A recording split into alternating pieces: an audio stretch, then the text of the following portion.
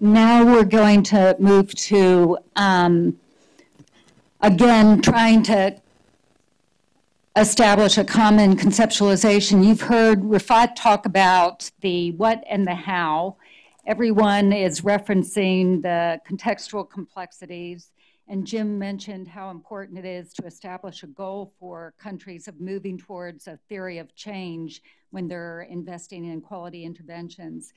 So Pierre is going to help us conceptualize the theoretical underpinnings of the field of quality as well as talk specifically about what is meant by theories of change. Uh, Pierre is Senior Vice President at IHI, where he's responsible for large scale initiatives uh, across the globe. He's also a pediatrician and neonatologist. And he's looking for how to start the slides.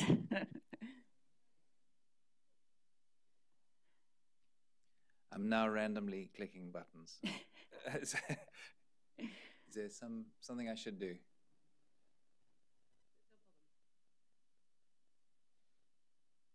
Okay. There you go. Great. Thanks, Sheila, and and, and uh, thanks very much to the IOM uh, for this really uh, great opportunity. Uh, and I've already uh, learned a, a, a tremendous, tremendous amount uh, from the previous speakers, and I. I hope that what I will do in the next 20 minutes is, is, just provide a framework for us to have the discussion about these six methods. the first um, theory we have is that stuff doesn't just happen.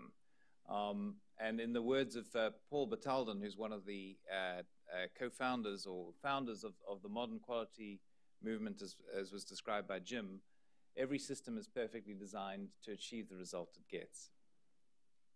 So the traffic that, that uh, is trying to get into town uh, in the early morning is, is as a, re result as a certain pattern, which is specifically as a result of the system uh, that it finds itself in. Um, and those of you who've uh, lived in London know that there was a, a, a major change that took place about uh, 15 years ago when they introduced the, uh, the central zone, uh, where you, uh, you, started having to pay a lot of money to, to bring your car inside. And the result that that system produced was that at rush hour, and in fact throughout the day in London, uh, you, can try, you can drive if you're prepared to pay for it throughout the streets. Some would say that that has um, unintended or intended consequences, and that if you know London, you'll find that you can't uh, uh, drive anywhere immediately outside the congestion zone where most of the traffic is now uh, trying to move around. Um, but it is an approach uh, that was taken in London, which is very different to building uh, lots of new um, roads, which brings in lots more cars. So it's just a, an example uh, to say we can really drive um, the performance of a system by rearranging it. And this is the remarkable opportunity that we have is to focus on systems um, rather than just on inputs um, because we can do a lot with what we have at, at hand uh, in order to, to get a different result. So what, what is the problem we're trying to solve? So basically, we've got a lot of um, uh, expertise uh, and evidence uh, that uh, gives us data on efficacy, um, which results in guidelines, uh, training modules, and uh, predicted resources that are required uh, to have results. And this is the sort of traditional paradigm uh, that has led to the, the, quality movement to try, because this particular paradigm on its own clearly cannot give us uh, the result that we need. The problem uh, that we're facing is how can we reliably uh, provide real life implementation and how can we scale up populations? Those are the, the, the two big challenges, uh, scale up our, our um, uh, implementation to on a large scale. Those are the two areas that we've really struggled with and, and for which we need uh, better approaches. And I think that that is what the six um, uh, interventions that are described are, are trying to do. The way in which we're approaching that is that we need adaptive designs that are context sensitive, and context will come up again and again as being a driving factor. And secondly, we need designs that can be scaled up uh, with the resources that we have at hand. So we have two, there are, there are two dominant forces, and there are many, many great contributions uh, to the field of quality, but I want to just highlight for the sake of simplicity on two. The first is uh, what was given to us by Deming, and the second I will be referring to will be uh, from Juran. So the first theory uh, is that we need both uh, the what and the how, and I know I'm, I, am aware that we've had uh, conversations about the what and the how already today, but in terms of the what I'm what I'm referring to here is evidence-based subject matter, the, the, the guidelines, the protocols, the policies, the clinical training uh, that that tells us what to do. What Deming said is that you need a very different kind of knowledge in order to be able to implement it and to scale it up. And, and these are much softer issues. And, and, and I think part of the difficulty in, in, in trying to get our arms around this is really trying to characterize what it is that Deming was referring to when he said you need to understand the psychology of change. You need to understand motivation and leadership. You need to have a very systems view um, about everything that it is that you're doing. Uh, we've had a lot of conversation already about data. Uh, data is absolutely uh, crucial, and, and, to Jim's point, I think it's the Achilles heel of the whole quality movement. Without data, we, we cannot do our work. And then we need context-sensitive learning in order to be able to move us forward. And I, and I, would ask you, when we're thinking about the different methodologies that are being evaluated, to think uh, about these um, aspects, about how well they do these uh, uh, in order to get their result. So um, Deming would say that unless you find a way of bringing these two uh, uh, tracks of knowledge uh, seamlessly together, that we're not going to get improvement. So the second um, uh, theory uh, that we um, uh, refer to is, is from Juran, which is the, the, the, the, trilogy. And I think there is a lot that we can learn from this particular formulation of quality that will help us guide us through the, the challenge that we face in, in evaluating these methodologies. And Juran said, you really need all three. You need to think uh, in terms of quality planning, which starts with a systems view. Um, we need uh, some way of, of uh, controlling um, or regulating uh, quality, which is quality control. And we need some way of pushing the system uh, to a better state uh, of performance, which is quality improvement. And, and he described them as quite separate uh, but uh, all being required uh, to get the result. And I think that what you'll see is that these methodologies that we're evaluating contribute to uh, all three, um, but some, but we could see them as being more heavily tilted uh, one way or another. And just understanding where they fit in the system, I think, will be very helpful if we're going to uh, strive to reach an integrated solution. So in, in Deming's original uh, thinking, which obviously was not applied uh, to healthcare, uh, he said, if you're going to sit down and plan, plan right off uh, with a, a, systems view. Uh, and when you get going, uh, you set your quality limits. You, you say that a system has to work within certain specifications, and this is the, the basis of, of the standards approach and, and the accreditation approaches that we say these are the standards, these are the limits within which we will tolerate uh, performance in our system. And we will keep an eye on it. We will, we will check uh, those parts of the system that fall outside the bounds of what we say is acceptable performance. And we will implement certain strategies uh, to bring them back uh, within control. But what Juran said is that if you really want to shift performance to a whole new level of performance, you need a different approach, which is much more focused, uh, and, and uh, is much more um, uh, agile and adapt, adept at, at making rapid changes in response to, to the problem that you're trying to solve. But then you probably need uh, to reintroduce your quality control uh, system once you've reached that new level of performance, and again keep a very close eye on it and make sure that you have a way of, of managing that and all the time, you're learning from what you've done, and you're feeding that back into your quality planning system so that as you move forward, and we'll talk about scale up in a moment, but you're taking those lessons and that you're incorporating them into better design that can move faster uh, uh, to implement what you want throughout your system. So if we look at it in, in terms of the health system, in terms of these three categories, quality planning, quality control, and quality improvement, we can start to see where some of the methods that we are going to be talking about uh, uh, fit. So in quality planning, it's more about policy, resources, coordination, accountability, and mandates. Uh, for quality control, it's more about standards and guidelines, professional oversight, accreditation, checklists, inspection, and a reward uh, censure type uh, of approach. Uh, and for quality improvement, it's about Deming's uh, four categories of what he called profound knowledge, which is the, the, the aspects of change, motivation, leadership, efficient systems, reflective data, and context-sensitive learning. I think what is going to be a little harder is that the world doesn't fit neatly into these three categories. And, and what we'll see as we go along is that the methods that are under review are borrowing from uh, different sides. But I think it is important to try to understand what those methods are essentially trying to do.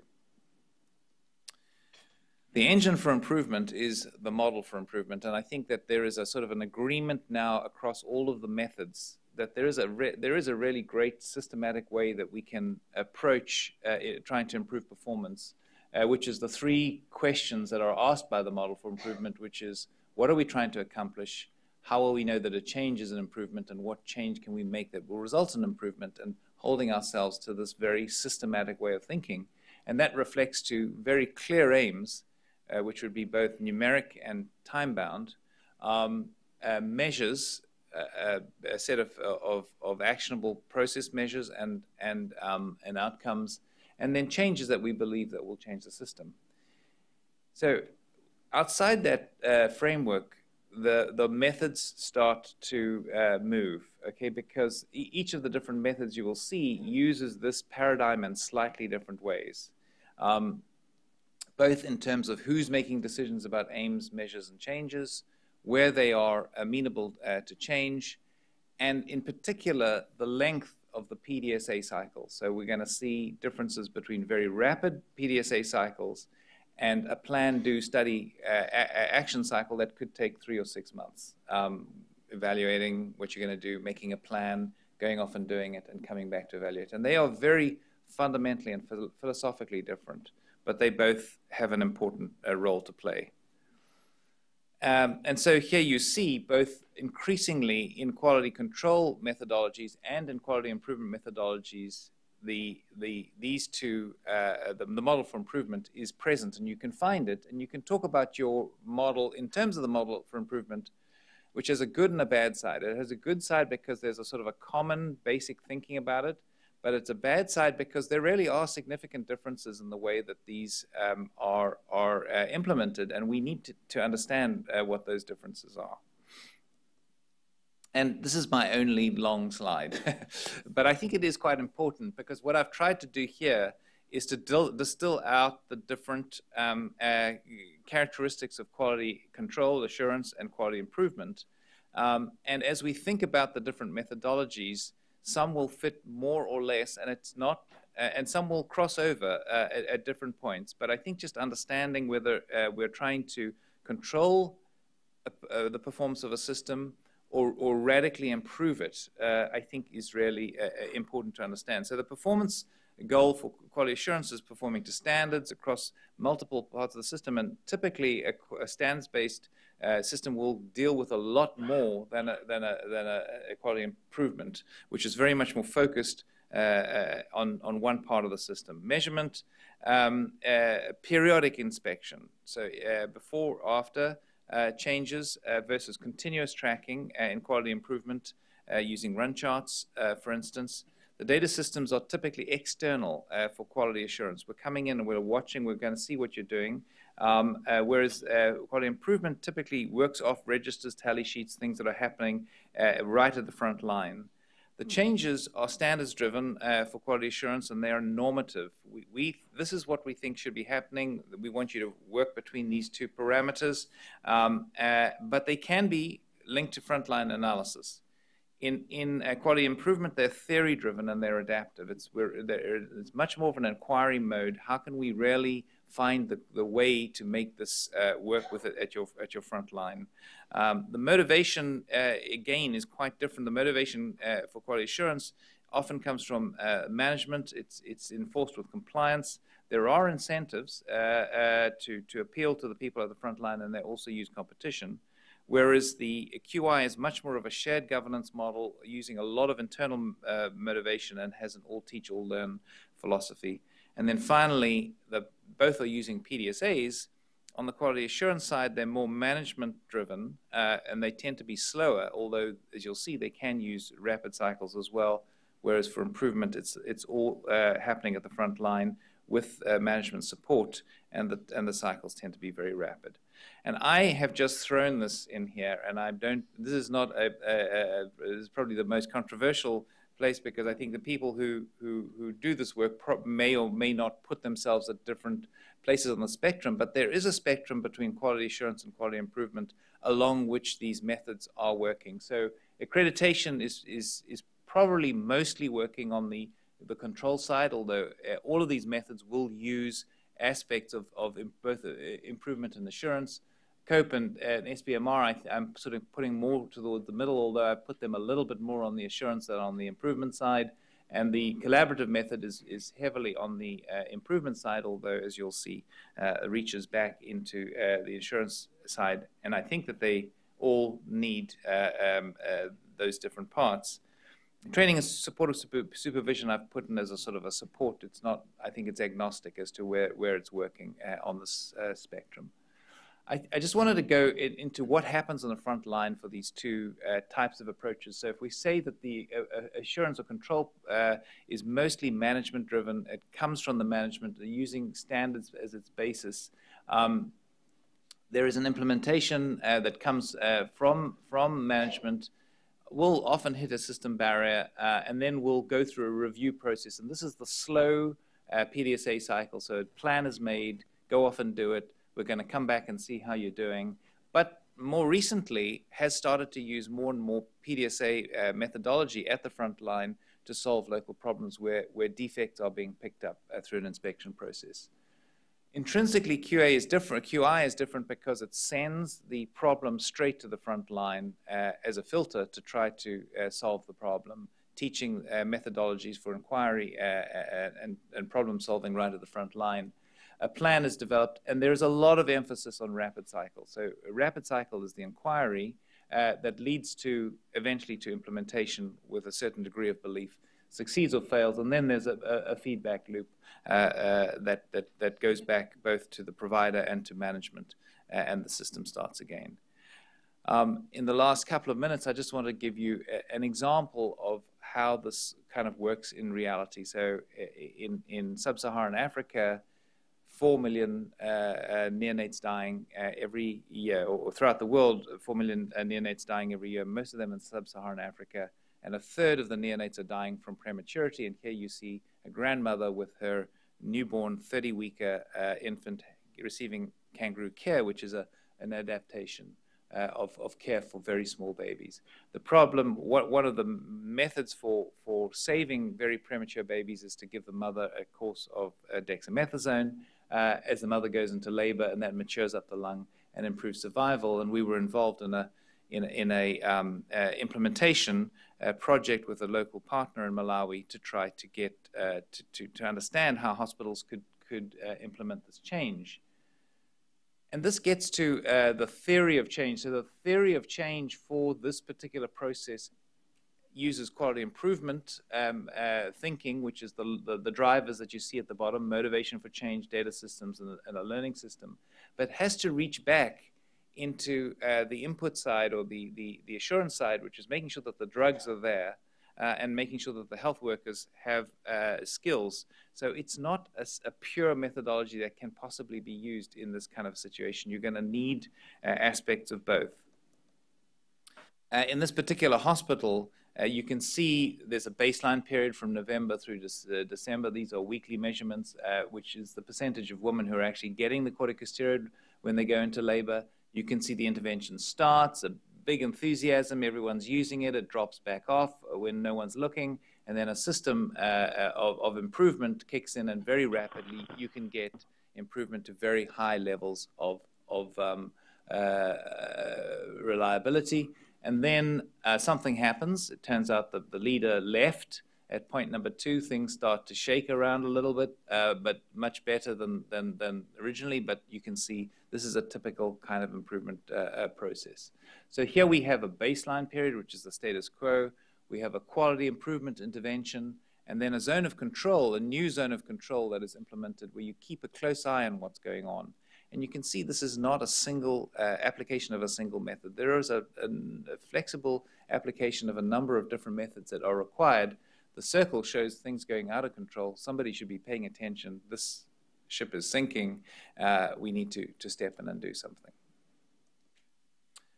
And here's, I, I want to make two uh, last comments. One is about sustainability, and, and, and, and the final one is about scalability. So here we have uh, two other hospitals. So this test was done in three hospitals. It was a test of scale up. Could we find three representative hospitals that looked like the rest of Malawi ahead of a national scale up? And so these were two government hospitals. Point number one is where the intervention has started, and you can see both in terms of mothers identified and the drug actually given, fantastic result. Okay, huge improvement in performance very rapidly after initiation of a quality improvement initiative in both hospitals. Point number two, the, the country ran out of corticosteroids. So uh, it just shows again that we're not working in a vacuum. Okay, the, the country ran out of corticosteroids, and it took nine months to get uh, corticosteroids back into the country, into the public system. Um, if you look at the, the even in the best performing hospital, so this is the hospital that that actually uh, because it was a private uh, hospital actually had access to supplies of the drug, and so that wasn't the rate limiting factor. Here's the inspiring leader uh, who started the whole uh, process off and assembled a team within weeks, got a system from zero to 100% using classic uh, QI methodologies. Here's the new leader who took over. Things wobbled a bit, but she did a, a nice job of maintaining the, um, the process. So that's February 2014. This is June 2014. I visited this uh, uh, uh, hospital in December of last year, and this is what I found. So I found that the hand-drawn line chart had fallen down within the cabinet and, and was obviously not being used. Now, there are a number of factors, and I'm not going to go into what they were, but they were a combination of the fact that the government had changed its mind for good reasons not to pursue the corticosteroid uh, program. Um, but this was actually uh, not just women getting corticosteroids, this is women being assessed for gestational age, a very important step, which is Im uh, important not just for this drug, but just to say that if you don't have a, a supportive system that is, that is uh, led by management, uh, uh, that is part of the government system, you can have a fantastic result for three weeks. But if the supplies run out, or if it's not part of a of, of a greater program, it will uh, not survive. My last point is around scale up. I think that this uh, Juran thinking can actually be applied uh, uh, to scale up as well, because I think that uh, the whole sub-Saharan Africa and, and, and, whole countries are going through a kind of a quality journey that may be phased. So there may be a, a quality control starting point then, uh, that, that, that gets basic supplies, equipment, uh, performance uh, levels into place, on which you can then uh, do some rapid improvement, and then following which you need a rigorous um, uh, quality control system uh, to, to, to sustain it. And, and we've been looking a lot at individual uh, hospitals, the example I gave you. But this thinking, I think, needs to be applied countrywide. And, um, and I do believe that if you think in scale up in terms of, of a phases, a phased approach, getting set up, understanding the status quo, building uh, scalable models through innovation, uh, understanding the context uh, of scale up and then going to full scale, it may be that we need to think about these different elements uh, contributing to, to, to different. So I just want to end with the three questions. Are some methods intrinsically more suitable for different aspects or phases of implementation? Should we ensure that large system improvement includes all the elements of the Juran trilogy when we're designing them? And how do we ensure that our improvements uh, efforts are sustained into the future? Thank you. Thank you very much, Pierre, for giving us a broad overview and way to think of this going forward. We have time for just a couple questions.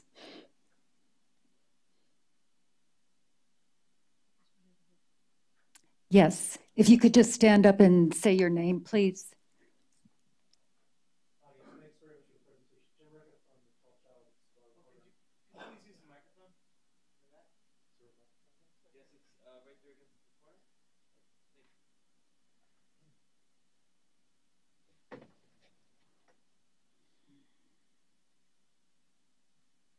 Yeah, thanks for the presentation. Jim Ricca from the Maternal Child Survival Program. I'm uh, interested in your thoughts on the following. Um, in developed world contexts, we can assume fairly high capacity, um, and therefore magic bullet solutions sometimes uh, can uh, be more likely to work, although, of course, context matters, et cetera. We have to be thinking about system. But that becomes more important in low capacity environments, whereas you pointed out, um, a fantastic intervention can be derailed by something out of its control. Uh, I think um, I've seen things on either side, uh, things that are very simple kinds of interventions that ignore the rest of the context and hope that it works. But of course, there, and then there are also larger health system interventions that don't even try to get involved in the specific context. Is there some middle ground that you see that you can take account of some of the context, work on some pieces of uh, the weak system, but without getting involved in the the entire system, which probably is not working particularly uh, optimally in a, a, lot of the places that that are in middle middle and low income countries. Yeah, I think the, the further out you get into specific hospitals and, and where the problems are very uh, uh site specific, I think that you can work in that microsystem and you can try to influence the performance of that microsystem. I, I thought the question that you were heading to was, uh, is it justifiable to use a magic bullet um, approach in a, in, in, in, a country like Malawi? And, and I, am I think the answer is probably no, um, uh, that we should be using integrated uh, packages of, of care and not, and not single interventions. Um, you know, but we have to collaborate with the global movement, uh, which was saying use the magic, use this magic bullet, and that, so there's a lot of pressure to do that particular uh, test. Um, but I think that, uh, and this goes back to our thinking really about uh, research as well. Um, I do think that we have to work in close uh, collaboration with ministries, uh, with districts for naturally organizing units like, like districts and sub-districts when we're organizing both our implementation and our research. And I think it affects the unit size of what we take on um, uh, in, in, and, and, and very much uh, has to take uh, account of what else, the context in, in that country, the supply chain, uh, all the other factors uh, that, that will influence. One more quick question. Kedar? Um, thank you, Pierre, and thank you for the uh, the illustrative example that you provided from Malawi. That's very helpful to have a specific story. I'm, I'm conscious not only in your talk, but also in some of the earlier talks in the day, there's been a discussion about heterogeneity and context sensitivity. It's come up repeatedly already as a theme, I think, of the day. Um, and if we think about uh, adaptation as being a necessary element and bringing things from quality control, quality improvement, quality planning into the design of a improvement intervention, and if it is as specific and locally adaptive as we're describing it, mm. does that threaten, since part of what we're doing is trying to understand the evidence base, does in fact that degree of heterogeneity actually threaten the potential external validity or the generalizability of research studies that might be done to try to assess this? The paucity of evidence that we have to consider here today uh, might suggest something along those lines, but I'm curious about your view. I think the generalizability is mostly around uh, the the approach rather than the detailed content. Um, but having said that, and I, I would go back to something that Jim had said in terms of generalizability. I think that there is generalizability of implementation approaches within a country, and I think uh, what what we uh, are trying to do. Uh, with these tests of scale up is, is try to explore the different kinds of environments that you may encounter as you're scaling up because in order to be able to move fast, we don't have the luxury of being able to do lots of in-depth innovation everywhere in the country and lots of rapid cycle uh, testing. There has to be some adaptation, but we, in order to be able to move really fast, and this is maybe my personal belief, you do have to reach a point of standardization where you can really start to move with tremendous local knowledge, which is very context uh, tested, um, uh, that that looks different from an innovation collaborative at the at the earlier side. So I, I think there's there is more generalizability. I think than maybe we we are saying here, um, but num the number one uh, uh, task for for us here, I think, is is to design research that tests the generalizability of the method uh, and its applicability uh, worldwide.